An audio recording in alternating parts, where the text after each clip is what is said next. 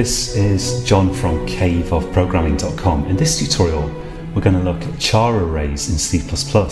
This is something that I really should have mentioned earlier in the course, and I was kind of reminded to mention it here because we can do some interesting stuff with pointers and char arrays. But first, I need to show you what a char array is, and this is quite important in C++.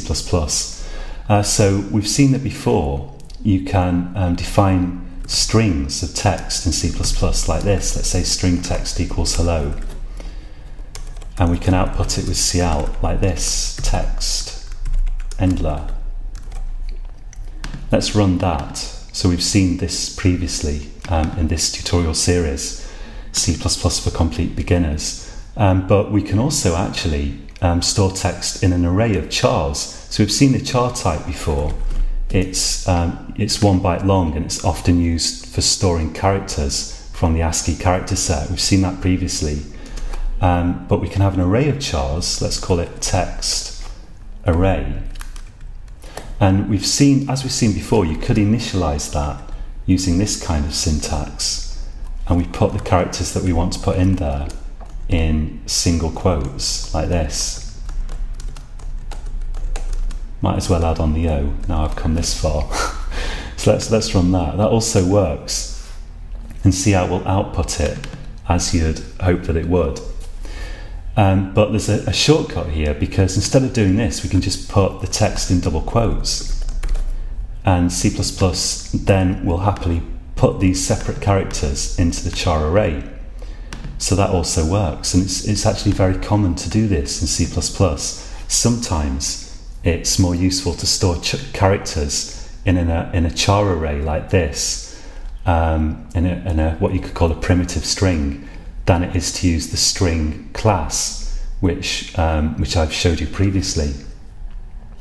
Now let's, let's iterate through this with a for loop, because there's a bit of a surprise here. Let's say for int i equals naught, i less than, and we'll use size of to get the size of the array, size of text and I++. And let's output the characters one by one. So cout and text I, and then I'll, I'll have a flush there. So if we run this, um, what we get is, well, this, this looks like we'd expect, but um, what about if we output the index as well? Because actually that's going to make it clearer. Let's try that. So I'll put some punctuation in here. We'll have each character on a separate line. And now if we run it, yeah, if I get the syntax right as well. So I need this put to operator there. Okay, let's try that. So we see that um, i is run from 0 to 5. That must mean that size of is returning 6, so that we've iterated from i uh, starting at 0 all the way up to 5. And then when it gets to six, it says, okay, i is no longer less than, um, six is no longer less than size of text, and it stops. So size of text is actually returning six, even though there's only five characters in the string. And we can see that the sixth character here at position index five, remember we start the indexes at zero, so that's why the sixth index is five, is it appears to be blank, nothing's pr printing there. But we can find out what it is if we put a cast to an int in front of this character. So if we run this now, we actually find that the last character in the string is a zero, and we call this the null terminator, um, null string terminator. Um, and the, the reason it's there is, is just so that it's a way of letting, um, it's a way of allowing your program to know where the string actually ends. So um, there's an invisible character in the string, and that was created just by virtue of the fact that we put this in double quotes. The double quotes append this zero value to the string, which doesn't print with cout, but it's there, and C++ can use it, your program can use it to find out where the string actually stops. So the length of this string array is actually six, even though there's only five visible characters. Let's um, let's maybe put this back how it was to start with. Um, and that means that we could loop through the string with a while loop if we wanted to. Not that that's necessarily a useful thing to do, but actually sometimes it is, uh, occasionally.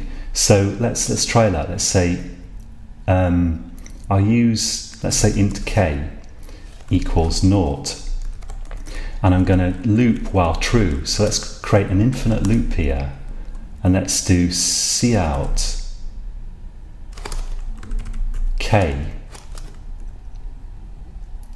In fact, let's let's just start put everything on one line because it's going to be it'll look a bit nicer. Let's say cout text, and in brackets here I'm going to put k and flush like that.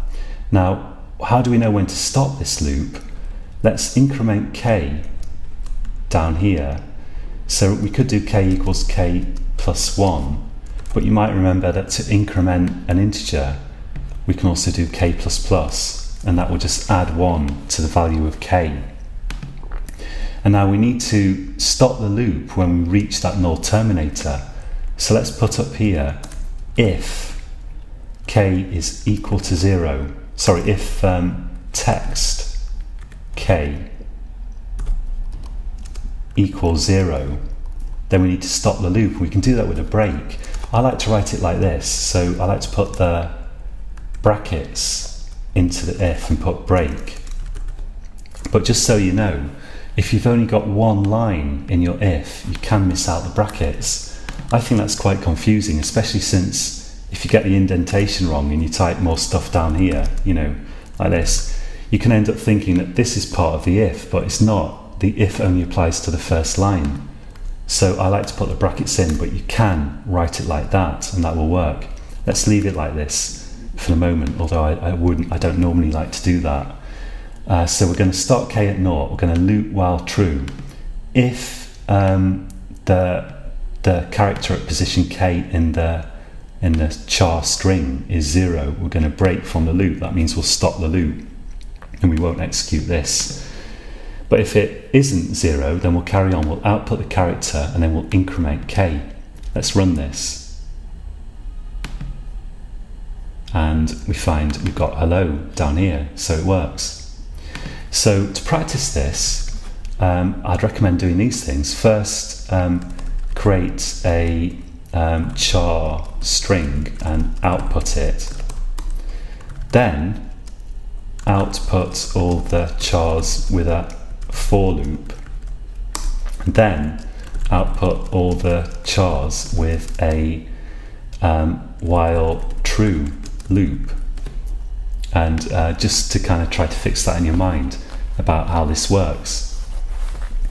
Uh, one thing I'll say, which I'll repeat later on, is that um, if you do all the exercises in these videos, you'll you'll sort of have a lot of stuff in your memory that will be there, even if you can't instantly recall it, but it will be there somewhere and uh, you won't actually feel completely easy with C++ until you've written lots of programs of your own. And we're going to finish this course by writing one little complete program, but um, you'll need to invent programs of your own to write and uh, have a go at writing them to really to really feel easy with this. Nevertheless, if you do do the exercises, it will help tremendously because when you come to writing your own programs, at the very least, you'll kind of know what kind of thing you need in there, even if you have to Google for the exact syntax. So I'll leave it there for this tutorial, and until next time, happy coding.